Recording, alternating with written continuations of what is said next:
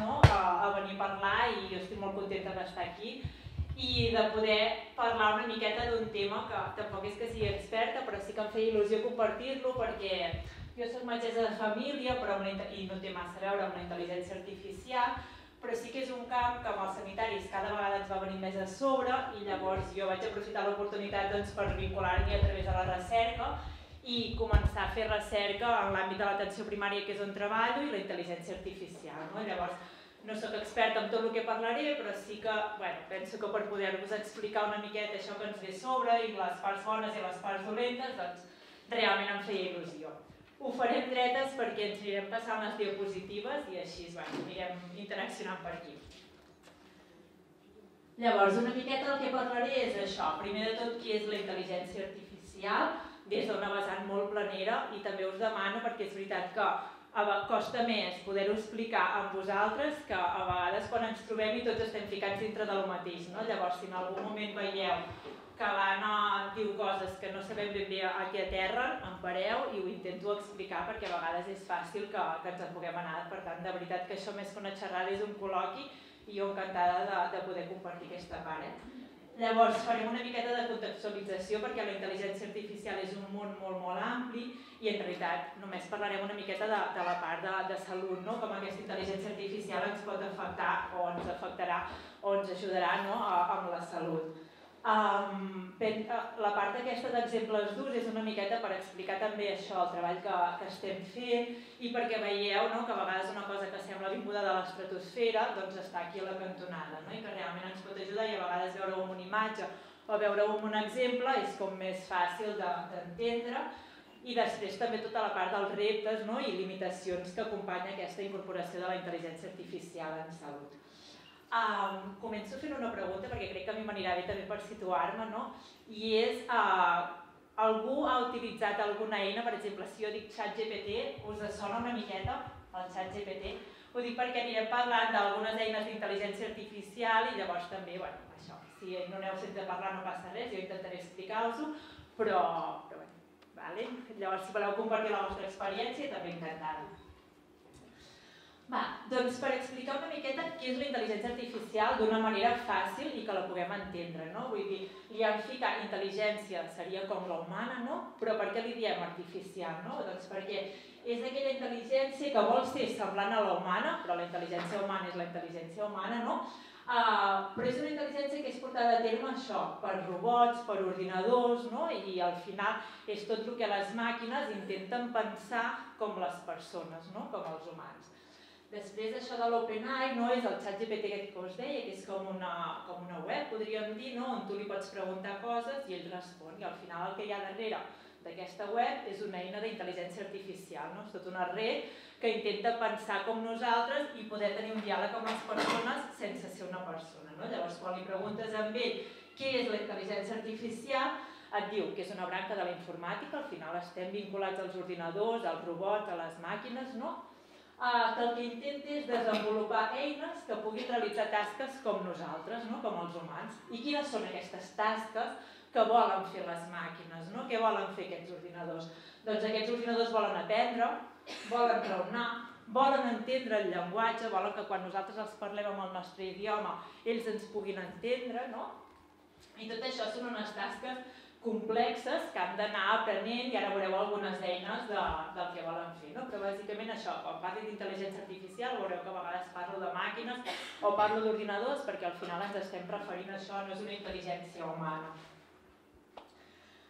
Llavors, aquí veieu un cervell partit, no? Aquesta part seria la humana i al final la intel·ligència artificial moltes vegades gràficament la mostrem així, no? Com un cervell però tot ple de ratlles, no? Que serien aquestes rets neuronals que volen pensar com les persones però que en realitat són màquines. No? I què ens diferencia uns dels altres? No hi ha coses que només podrem fer els humans i aquí penso que és on ens hem d'aferrar, perquè hi haurà coses que les màquines les podran fer molt millor que jo, però n'hi ha d'altres que només les podré fer jo o que només les podrem fer les persones. No? Llavors aquestes són les que hem d'intentar potenciar i que hem de deixar que les màquines facin allò amb el que són millors i jo pugui fer allò que jo som millor. No? Llavors, què, pot, què puc fer millor jo? No? Doncs trobar sentit a les coses. Les màquines no poden trobar el sentit a les coses, no les poden contextualitzar. Poden saber molt d'una cosa, però només d'allò que han llegit o que han estat entrenats. No poden ficar en un context d'aquella persona, no li poden. Poden analitzar, per exemple, una analítica, però no poden mirar la persona, no poden entendre com està aquella persona i si aquella analítica, com es comporta en aquella persona. No només veuen els números, nosaltres podem veure el sentit de les coses, les podem contextualitzar. Nosaltres per això estem també influenciats per lo bo i per lo dolent, per una educació, per una experiència. Quan veus una persona, veus el que t'està dient ara, però també et reporta tot allò que altres vegades en altres consultes t'ha dit, tot allò que saps de la seva vida, en el context en el que el fiques, no? i això és un gran potencial que, per exemple, a nivell d'atenció primària tenim, no? de poder fer aquest seguiment, la màquina no, la màquina veu aquella persona en aquell moment, no? i la pot analitzar molt bé en aquell moment, però no en tot el seu context. No? És veritat que una cosa que nosaltres perdem, per dir d'una manera, és que podem, anar, podem processar la quantitat de dades per la que podem, vull dir, som limitats en aquest sentit. Les màquines no, tu els hi fiques bases i bases de dades i números i números i, i bases de dades i excels i t'ho poden processar tot i en un temps rècord. Amb això no podrem competir mai. El que fa una màquina a l'hora d'analitzar dades, no, amb això sí que segur que no podrem competir, no?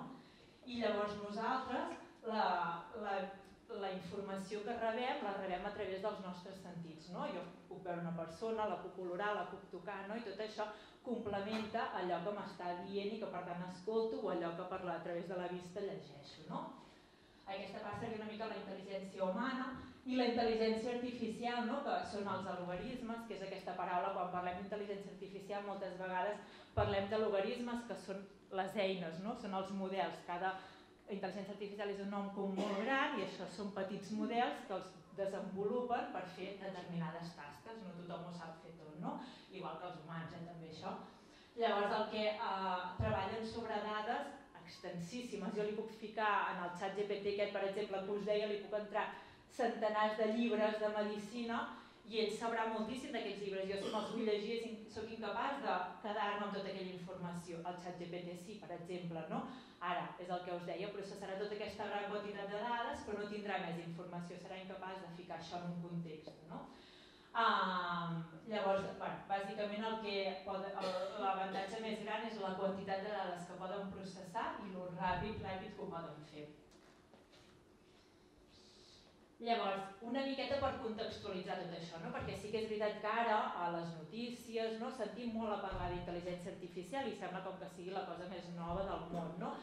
I això ja ve d'enrere, no? i sobretot quan parlem d'intel·ligència artificial en salut, a vegades ens fa por perquè diem, bueno, ara vindran els robots i, no? i ho substituiran tot, entraré al cap i serà tot un robot. No? Però això no és nou, no? Si parléssim amb els nostres companys, encara escrivim de, de fa més temps, no? encara feien les històries en paper doncs als anys 60 van arribar els ordinadors i ara, en comptes d'haver-hi centenars de papers a les consultes, hi ha un ordinador on ho apuntem tot, no? Doncs segurament això va que cap a aquests ordinadors comenci a tenir intel·ligència artificial integrada que ens ajudi. No? Al principi de la digitalització dels ordinadors semblava, però si jo en paper ja vaig bé, no? perquè ara ho he d'escriure tot en l'ordinador, que vaig més lent, que no sé què, no? Doncs bueno, ara pot semblar que la intel·ligència artificial ens costarà d'entrar, però si entra per ajudar-nos i per fer-nos les coses més àgils, doncs benvinguda sigui, no? I això va començar a partir del 2010, que hi va haver com una explosió, no? que de fet ja fa 14 anys, i aquí es va començar a parlar d'intel·ligència artificial, però en molts àmbits, i aquí moltes vegades, bueno, tota la part més d'economia, més d'empresarials, aquí va ser un vam créixer més ràpid que nosaltres, no? I a partir del 2012 es va començar a pensar que aquesta intel·ligència artificial que funcionava en certes coses també podia funcionar en l'àmbit de la salut. No?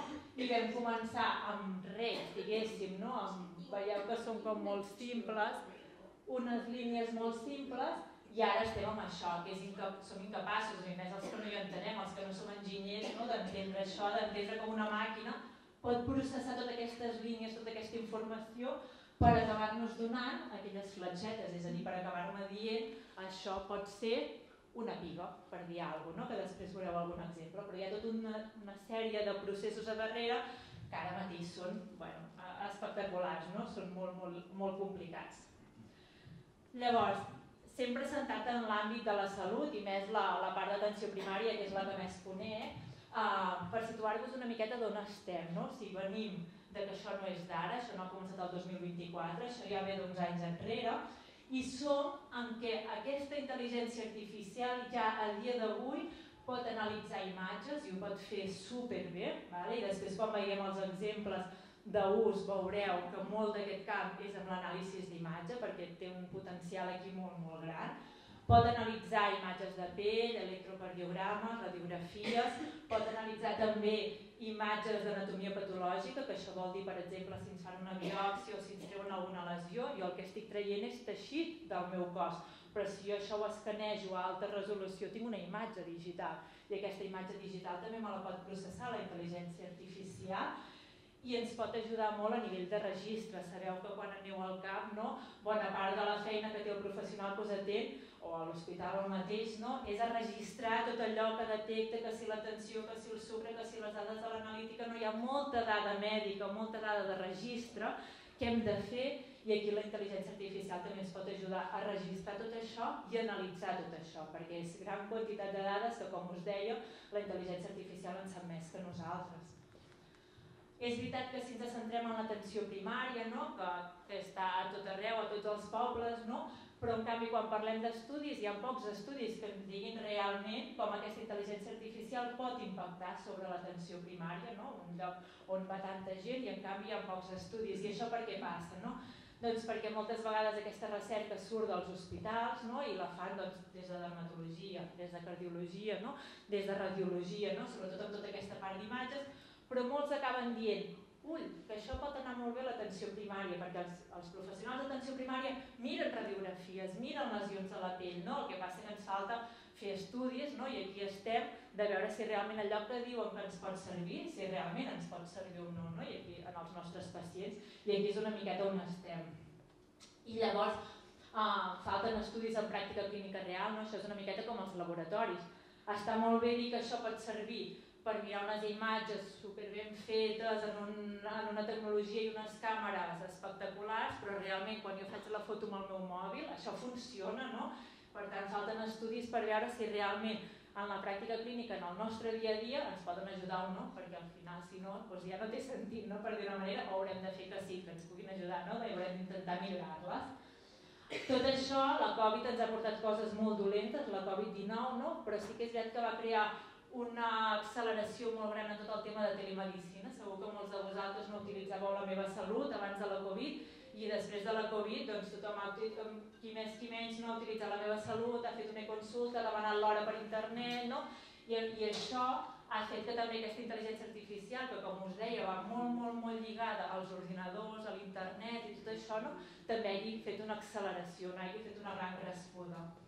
I això fa doncs, que hi hagi programes i a vegades quan sentiu notícies per la televisió no, hi ha tots aquests organismes o aquestes administracions a darrere, no, com és el programa de Salut Intel·ligència Artificial, que això és del Departament de Salut, i ells vetllen perquè realment aquesta intel·ligència artificial es pugui aplicar a la salut, no, i per això hi ha el Departament a darrere, o entitats o administracions com el TIC Salut Social, no? I, són, i això també doncs, cada vegada està com més eh, creixent. No? I cap on anem, no? O sigui, això seria una miqueta on estem, això ja és una realitat, i anem cap a, doncs, com us podeu imaginar, no? que aquesta intel·ligència artificial siguin eines de suport diagnòstic, és a dir, m'ajudin a diagnosticar, si sap, si sap mirar imatges més bé que jo en determinats casos, si sap analitzar informació mèdica més bé que jo, doncs que m'ajudi a fer-ho i que m'ajudi a diagnosticar. No? Ja estaré jo al darrere per veure si allò que em diu té sentit o no. Això és l'altre, no? no ens podem deixar anar sols però que m'ajudin. Per tant, eines de suport, i la paraula suport sí que m'agradaria molt recalcar-la, no? perquè després veureu que faig èmfasis en una, en una cosa, i és que a vegades la por, no? sempre que surt alguna nou és ui, però això ens substituirà, això ens traurà els metges o les infermeres, no? Doncs no, no ens traurà ningú, sinó ho hem de veure com un suport, vale? un suport diagnòstic, un suport terapèutic, no? ajudar-me a tractar millor els meus pacients, a individualitzar els cribatges. Els cribatges és, per exemple, no, el cribatge del càncer de colon, no? i recollim la femta i la portem a la farmàcia. El cribatge del càncer de mama amb les mamografies, no? i segurament més cribatges, perquè al final el que volem fer és diagnosticar abans que les coses apareguin, no? i això només ho podem fer si cridem a la, a la gent, però estem fent cribatges a tothom igual a tothom d'aquí aquesta sala, doncs, si li han de fer la mamografia cada dos anys, m'ho invento, no? Pues cada dos anys. No, no ens plantegem si el fulanit total li hauré de fer abans o si a l'altre li he de fer cada cinc. No? No, no, no ens podem plantejar això perquè estem parlant de moltíssima gent. No? Llavors, aquí és on la intel·ligència artificial ens podria ajudar analitzant dades de dir, mira, aquesta persona té més risc, per tant, aquesta no li toca cada dos anys, li toca cada mig any, o a l'altre li toca cada cinc anys, perquè realment és que el seu risc és molt baix. No? I això se'n diu individualitzar els cribatges, se'n diu caminar cap a una medicina més personalitzada, no més individualitzada, i aquí la intel·ligència artificial sí que realment jo crec que ens podrà ajudar. En personalitzar els tractaments, no? nosaltres sabem doncs tenim uns, uns estàndards, no? pues sabem perfectament per l'evidència científica que tenim al darrere, que per la hipertensió ens va bé uns medicaments, per la diabetis ens en van bé uns altres, però el que no sabem és com respondrà aquella persona. En, a grans termes sí, no? però també hi ha eines que ens poden dir ull, aquesta persona anticoagulant potser sagnarà més que el seu veí. Ah, hi ha coses que se'n poden escapar o que jo no puc processar o no em puc anticipar tant. No? Llavors, si analitzem moltes dades d'aquella persona, eh, potser puc fer aquesta individualització dels tractaments, no? veure l'adherència del, del tractament, no? potser aquella persona no li convé una pastilla que es pren tres cops al dia, potser pel perfil d'aquella persona ha de ser una pastilla que es prengui un cop al dia, o al revés, no? i això és aquesta part d'individualitzar els tractaments. No? Gestions administratives, fem molts papers en el CAP, des del taulell, des de les infermeres, des dels metges, o sigui, fem gran quantitats d'informes, de programar visites, de programar seguiments, de programar analítiques. No? Segurament aquí la intel·ligència artificial també ens pot ajudar no? a totes aquestes tasques més administratives i deixar-nos els professionals sanitaris per fer allò que realment podem fer amb les nostres mans no? o que sabem fer millor, allò que té més valor per nosaltres i monitoritzar la salut, o sigui, empoderar els pacients que des de casa puguin fer un registre d'aquestes constants, dels símptomes, del que sigui, no? i això d'alguna manera a nosaltres ens pugui arribar, ens pugui arribar aquesta informació processada, analitzada, i per tant puguem fer una monitorització de la salut de la gent d'una forma més, més efectiva. I això amb tres fotos, no? Fins ara ens trobàvem amb que moltes vegades la gent venia i ens deia que ja ho havia buscat al Google, no? És que l'internet o el Google diu que puc tenir una fascitis plantar perquè em fa mal al peu quan corro, perquè no sé què, no? I ho ficaves al Google i t'ho deia. Doncs ara ja estem a l'altra era, no? que és que ara ja ho han buscat el xat GPT, i el xat GPT sap més que internet, o sigui, sap més que el simple Google, no? i aquest ho analitza amb més bases de dades i per tant venen amb unes informacions molt precises. No? Llavors la nostra feina ja des de fa temps, no? des, de que la, des de que hi ha els ordinadors, per dir manera, moltes vegades és com tranquil·litzar i analitzar allò que ha dit el xat GPT o allò que ha dit l'internet no? i veure si realment allò és cert o no. no? Per tant, jo em quedaria com una mica en el mig, no? que està molt bé el Google, està molt bé el xat GPT, però al final hi ha una medicina de proximitat, no? de, de tacte, que aquesta només la podem fer nosaltres. I també per seguir una miqueta amb aquesta contextualització de la intel·ligència artificial en salut, és la pregunta del millor, no? i aquesta la tenen tots els estudiants de Medicina. Oh, però i si estudio Medicina i d'aquí quatre dies ningú em dona feina perquè això ja ho fan els robots, no? Doncs la resposta és que no, no, no hi haurà robots que ens puguin substituir. Hi haurà coses que sí, hi haurà coses que no les farem nosaltres, segur, d'aquí uns anys, no? però en farem d'altres o les altres les farem millor perquè tindrem més temps. No? I això pot, són notícies que són extretes que podeu trobar a qualsevol lloc, no? i si us hi fixeu ara després d'aquesta xerrada veureu que em van sortir. És que, per exemple, no, el xat GPT ja li diuen el doctor GPT, i, i va provar uns exàmens de medicina, vull dir que si tu realment li entres tots els llibres, segur que pots saber-s'ho més que un estudiant, perquè podrà processar aquesta informació més que el cervell humà de l'estudiant en si, per tant sí que pot aprovar aquest examen. Altra cosa és com farà aquesta feina, no? Llavors, segurament la idea és que ens haurem de complementar. I una miqueta a mi el que m'agrada dir és això, no? que estiguem tranquils, que la intel·ligència artificial no ens substituirà, no? en els professionals sanitaris, però sí que és veritat que igual que els nostres companys fa uns anys es van haver d'adaptar als ordinadors, no? i aquells qui no es van adaptar a escriure a l'ordinador i a fer les feines a l'ordinador doncs ho van tenir complicat, no? Els que no ens adaptarem a la intel·ligència artificial que vindrà, segurament també ho tindrem complicat. Llavors no ens substituirà, però haurem d'intentar-hi conviure de la millor manera, no? I aquesta altra frase de l'Eric Topol m'agrada molt, no? que diu que la intel·ligència artificial el que farà és retornar temps als metges perquè ho dediquem allò que les màquines no poden imitar, que és escoltar els pacients amb empatia, inspirar confiança i aconseguir una comunicació humana. No? Vull dir que realment és aquest treball conjunt que haurem de fer. I ara, ja per anar acabant, Uh, aquí només us ensenyaré alguns exemples perquè veieu això, no? de dir tot això que t'ha explicat l'Anna, que diu que déu nhi ja quina realitat és, no? quant de real és. No? I aquí veureu imatges, alguns exemples de coses que fem, que jo he pogut provar, no? que la Sandra també m'ha ajudat a poder provar, i que realment funciona millor o pitjor, però com a mínim ja les estem provant i estem en, en això de, de poder-les fer funcionar millor.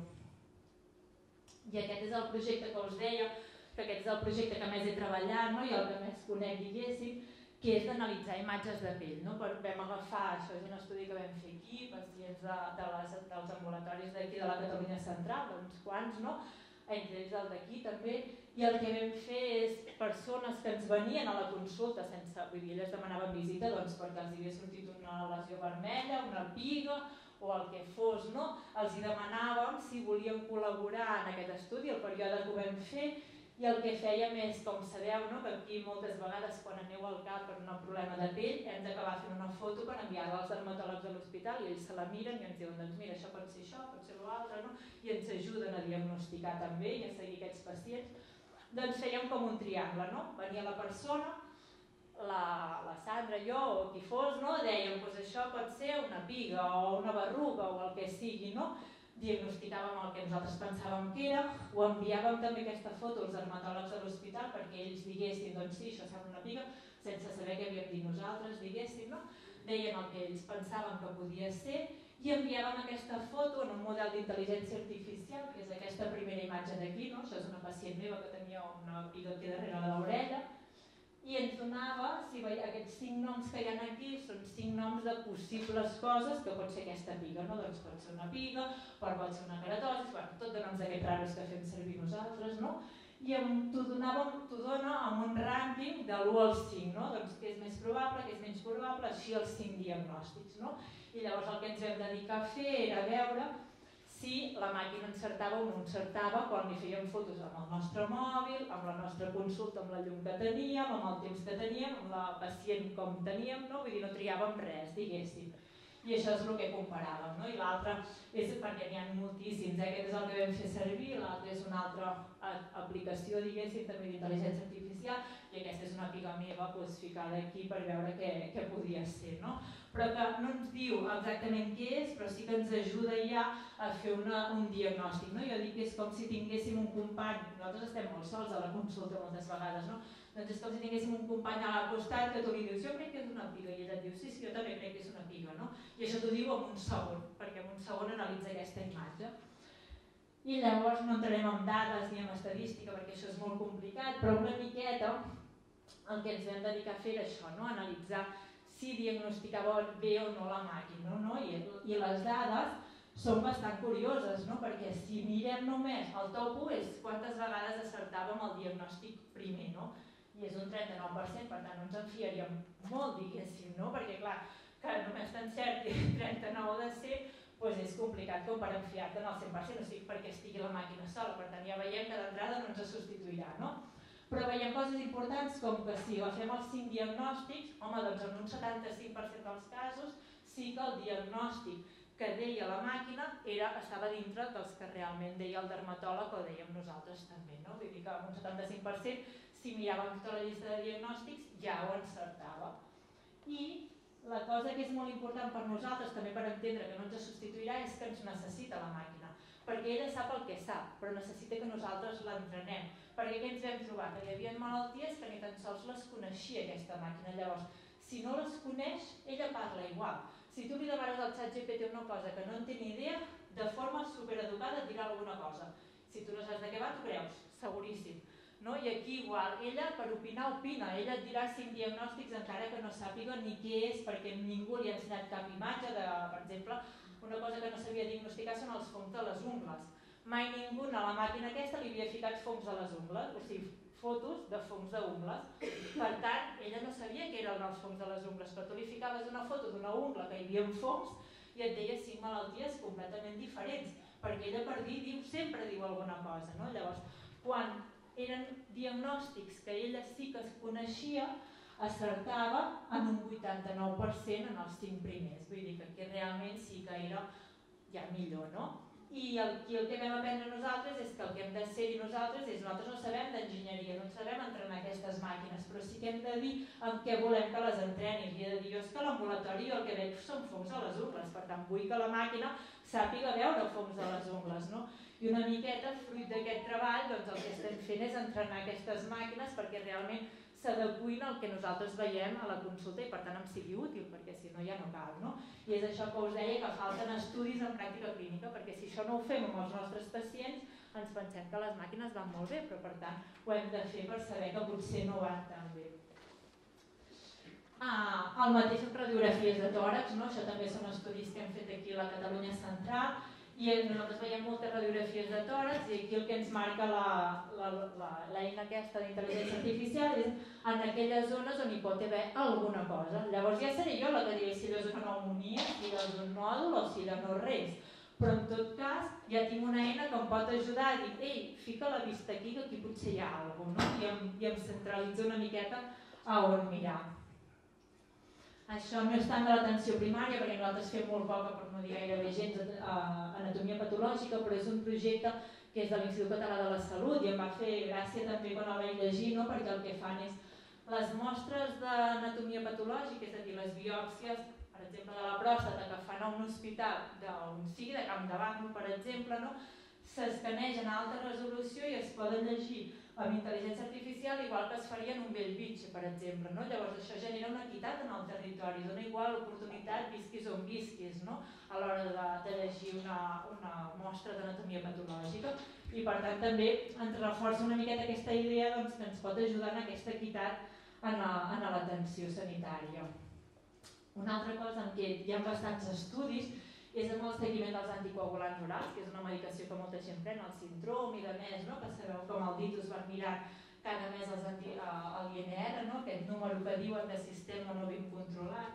Doncs llavors amb aquestes eines d'intel·ligència artificial el que s'ha vist és que poden predir millor que les persones, ens poden ajudar a predir millor les complicacions que pot tenir aquella persona, perquè potser esperem un temps a treure-li perquè veiem que no està gens ben controlat i potser ens podríem haver anticipat una miqueta i de dir, doncs ja sé que no estarà ben controlat, per tant ja no m'espero, sinó que ja directament li canvio, o al contrari, aquesta persona estarà super ben controlada, per tant vaig seguint amb aquest tractament. No? I aquí amb els anticoagulants, que és una medicació que també molta gent pren, doncs també hi ha bastants estudis. Llavors també ens, també ens pot ajudar la intel·ligència artificial, hi ha models de, de triatge, de prediagnòstic, no? de dir-li, per exemple, no? si pogués estar integrat a la meva salut o si pogués estar integrat als taulells del camp, o així, no? de dir, mira, jo vinc per això, això i això, no? i que ens pogués redirigir, no? que és una miqueta ja el que fan les nostres companyes, no? pues això si ho poguéssim fer des de la meva salut, o així, no? de redirigir una miqueta, de dir, mira, pues això t'hem de veure en tants dies, això és en urgències, això pot esperar, això amb una consulta telefònica es pot resoldre, no? i aquí estan entrenant eines com de triatge, de prediagnòstic, que li diem, no? que aquí s'ha d'anar alerta, perquè llavors hi ha tota webs i això, que a vegades també sembla que siguin això i realment no estan entrenades, vull dir que no hi ha una evidència al darrere que pugui funcionar, eh? vull dir que és un camp que, que es pot explotar però que s'ha de, de fer molt bé perquè al final no hi ha, no hi ha res com poder escoltar a les persones. Eh? Amb salut mental també això és una eina que, fan el, que estan desenvolupant a l'Hospital Clínic de Barcelona, juntament amb l'atenció primària de la seva àrea. I aquí el que van agafar són tots els pacients que van, bueno, que van haver de derivar des de l'atenció primària a salut mental a, en els últims 5 anys. No? I això els va permetre crear una eina que intenta, o sigui, que pivota sobre tres coses, ens vol ajudar en tres coses. No? Una és en predir la gravetat, és a dir, allò que jo veig avui, que em pugui dir si aquella persona realment tindrà una ansietat més o menys complicada o una depressió més o menys complicada, no? per tant, predir la gravetat de cara als professionals per ajudar-nos a un seguiment a un tractament, no? a poder-nos anticipar també una miqueta. També hi ha una part de poder eh, personalitzar les intervencions, potser no tothom li va bé fer mindfulness o el mateix tipus de mindfulness, no? llavors poder personalitzar una miqueta aquestes intervencions i tot això la idea és poder-ho integrar a les plataformes que utilitzen ells, no? perquè tot això aquí com de, des del mateix ordinador, no? com si diguéssim. Però bueno, són exemples d'aquí de Catalunya i això perquè veieu que, que, es va, que es va fer. Això també va sortir a les notícies no fa gaire, que es faria uns estudis en els CAPs per veure la intel·ligència artificial generativa és aquesta més nova, que és la que intenta entendre el llenguatge, o que, que entén el llenguatge de les persones. No? I llavors aquí a la Catalunya Central també l'estem provant, hi ha ambulatoris on això ja s'està provant, aquí, aquí a la Catalunya Central, i és de que, eh, o sigui, bona part de quan aneu a, a l'infermera o al metge o així, no, és que ella ha d'escriure o ella no tot el que li aneu dient, perquè clar, allò de cada registrat i el pròxim dia ens n'hem de recordar, si no, no ens en recordaríem. Doncs pensar que això ho faci la intel·ligència artificial, no? I realment eh, és curiós perquè si clar, ella no veu, per tant, si jo vaig explorar la panxa, li he de dir, vaig explorar la panxa, la panxa és normal, no noto cap anomalia, i llavors la intel·ligència artificial m'ho escriu tot. Quan jo acabo la visita ja ho tinc escrit. I no he de perdre aquest temps amb escriure, no? sinó que realment si això funcionés i acaba funcionant bé, farà que jo pugui preocupar-me d'escriure i estar més per la persona o mirar més a la persona, cosa que a vegades no saps ja on tens els ulls perquè has d'estar per l'ordinador, per la persona, no? i això, l'únic que s'ha d'entrenar perquè per exemple li està costant si a la visita hi ha dues o tres persones, que això a vegades passa, no? el nen que l'acompanya la mare o el pare, la iaia que l'acompanya el fill o la filla o la jove, no? i llavors, doncs clar, es lia perquè diu ara qui està parlant, no? I, i això, o, o la professional, llavors, bueno, encara li queda un camí, però sí que ja és una realitat i que això ja s'està provant aquí també a l'atenció primària. I ara sí que ja acabo, Laura, que si no et deixaré temps. Um, això, o sigui, ara és com la part maca, no, la que hem fet, i la part positiva, jo penso que és amb la que ens hem de quedar, no?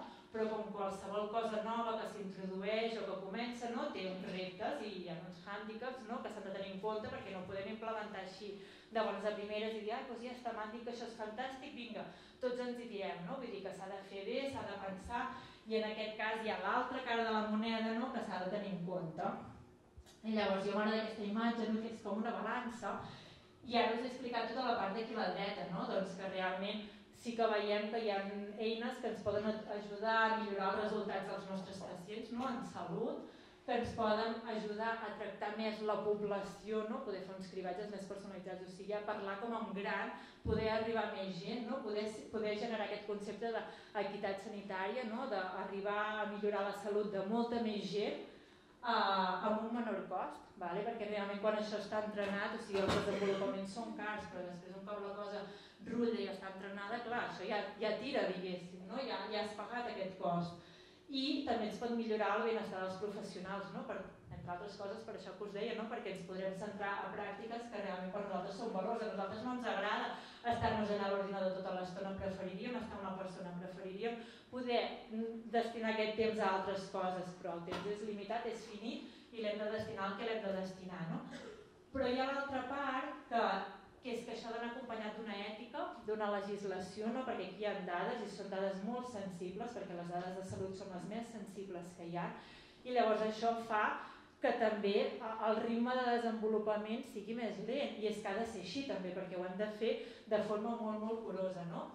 He dit per una banda no? que ens podia augmentar l'equitat en salut, o sigui que podíem ser més equitatius, podíem arribar a més gent, però també veureu ara que pot ser molt inequitativa, o sigui que ens pot generar moltes inequitats no? i això també ho hem de tenir en compte.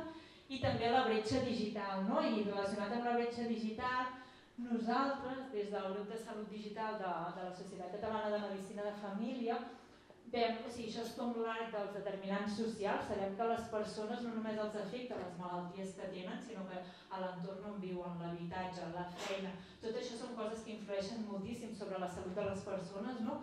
Doncs ja hi hem incorporat el nivell d'internet que tenen, l'accés a internet, perquè parlant de nivell, però hi ha gent que no té ni accés a internet, no?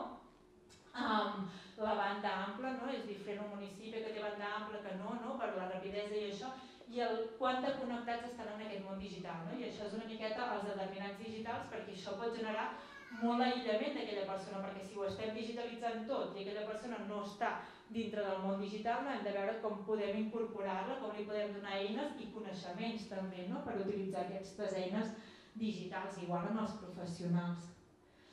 Aquí a Catalunya, parlant de protecció de dades, no? que és una cosa que a la gent li preocupa molt i és que és lògic, no? vull dir, al final és el que us deia, les dades de salut són les dades més sensibles, se'n generen centenars, milions de dades, però són molt sensibles i llavors s'ha d'anar molt alerta de com es tracten i de com s'utilitzen. No? I aquí, en certa manera, podem estar tranquils perquè des del departament, no? des de la Generalitat, uh, ja s'està treballant en això i potser pot semblar que anem més lents que altres llocs a l'hora de desenvolupar eines d'intel·ligència artificial, però hem de pensar que s'està tenint potser més en compte tot aquest tema de, de la legislació i de la protecció de dades. No? I això és un informe que és d'aquí de, de Catalunya, no? de, que ja va sortir el 2020, de dir, val, tot això està molt bé, però com anem a tractar aquesta, com anem a protegir aquestes dades? No? I només és perquè tingueu en compte l'altra part de la balança, no? que no m'hi extendré però que, que hi és. No? I llavors hi ha uns principis d'ètica que això per mi són importantíssims també, no? i venen una mica lligat a la pràctica de la medicina o de la sanitat en general. No? I és que al final la intel·ligència està molt bé, no? però li hem de demanar que sigui responsable, vale? responsable amb el que fa i qui la desenvolupi té la capacitat de generar una eina però que ha de ser conseqüent amb el que farà aquesta eina. Vale? Nosaltres hem utilitzat la però el que la desenvolupa també, per tant hi ha un terme de responsabilitat hi ha d'haver un terme de transparència, no? en certa manera hem de poder entendre per què m'està dient el que m'està dient, perquè si no, no m'ho creuré. Jo quan llegeixo un llibre penso que allò és una evidència que m'està donant tothom que ha fet els estudis per dir-ho, no? pues amb intel·ligència artificial exactament el mateix. No pot discriminar, i això us explicarà molt bé la Laura després, no? però no pot discriminar cap grup de persones, és a dir, jo tant m'ha de poder diagnosticar pell negra com pell clara, com pell més fosca, no tots els tipus de pell. No pot ser que pel fet de ser una pell fosca, si jo no l'he entrenat a veure imatges de pell fosca, no les sabrà diagnosticar. Per tant, allò ja no em serveix, perquè jo ho he de saber que no em servirà, perquè li ficaré una imatge d'una pell negra, em dirà una cosa, i jo he de saber que aquella intel·ligència artificial no ha vist mai pell negra. Per tant, el que li de demanar és que hagi vist pell negra, dones, totes les cultures, no? totes les races, és a dir, totes les classes socials, hem de demanar-li això, que no discrimini cap grup, i això és importantíssim. Hi ha d'haver tota la part de protecció de dades, de privadesa d'aquestes dades, de robustesa, no? perquè cada vegada són més les notícies d'atacs informàtics i de més, no? pues, si estem utilitzant ordinadors, hem de pensar també en aquesta part de la robustesa, de responsabilitat, de, o sigui, de, de poder potenciar la beneficència, que facin el bé però no el mal, no? i de, i de justícia cap a tothom, no? que, no, que no, fem, no favorim un grup per, per en detriment d'uns altres. No? Això també són notícies d'errors, que si heu vist els cotxes, si heu sentit dels cotxes automàtics, van atropellar una persona perquè resulta que només estaven uh, entrenats per quan passessin pel pas de vianants, però clar, la gent a la societat travessen a vegades per allà on poden, no? pues, el cotxe no frena, Vale? Llavors, exemples així amb cotxes també ho hem de pensar doncs, quan ho apliquem doncs, amb, la, amb la sanitat. No? Ah, el biaix de gènere, d'identitat, no? tot això ho hem de tenir molt en compte. Amb les malalties minoritàries, si ens han de servir per totes les malalties, no podem tampoc discriminar. No? i pensar això, no? que al final tenim moltes dades i ara estem en el paradigma de aquestes dades ens poden servir per moltes coses, no? però hem de veure com les explotem, com les utilitzem per realment fer el bé no? i que ens puguin ajudar.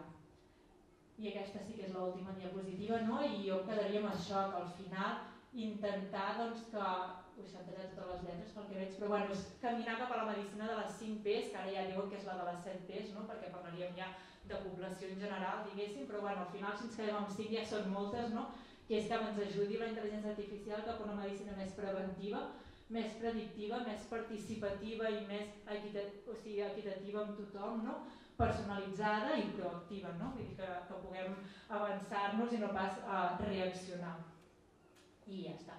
Uh, jo aquí acabo, li deixo la paraula a la Laura i després si voleu fem preguntes, no? fem al final potser si, si voleu. Sí. Bueno, pues vulgueu.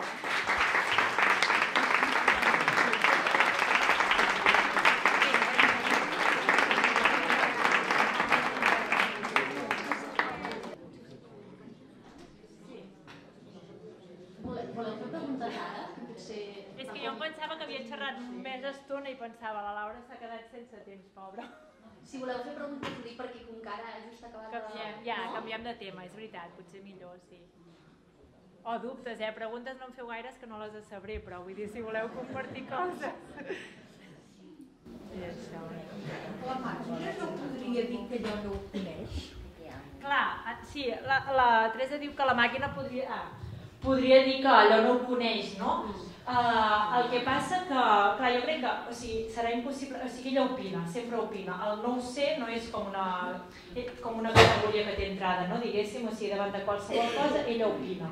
Però és que és molt curiós perquè si tu li demanes, jo què sé, qui és l'Anna Escaler, que no la coneix de res, ella primer busca a Google, clar, i et dirà, pues l'Anna Escaler ha fet no sé què, no sé quantos, però et farà una parrafada d'inventar-se coses que dius, això jo no ho he fet mai, no? Però ella opina, o sigui, ella et dirà coses, no? I en medicina ens hi trobem molt també, llavors, per això jo crec, o sigui, que acabi dient que no ho sap, ara mateix no ens hem trobat cap d'això, bueno, o sigui, diu, no és que digui que no ho sap, en tot cas diu que és normal. O falten dades? Clar, sí, sí, Ja sí. sí o li falten dades, això, però no ho diu, eh? O sigui, per exemple, la de pell no ho diu, la de pell et diu cinc diagnòstics i ja està. La radiografia el que sí que et diu és és normal, o sigui, no he trobat res patològic i et diu és normal. Llavors tu ja veuràs si és normal o no, eh? Però d'entrada si no, no et diu no ho sé, et diu és normal.